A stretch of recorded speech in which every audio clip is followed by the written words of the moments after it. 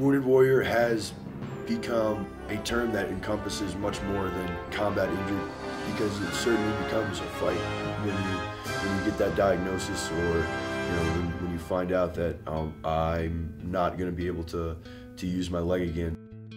Before I was diagnosed with my disease, I always defined wounded warrior as someone who was in combat and wounded.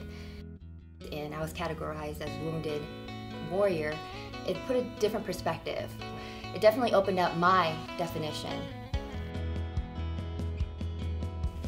Uh, wounded warrior for me, it's anybody that's uh, gone through any trauma or, or any medical related incident or issue and they have to battle through it, you know, to, to go forward.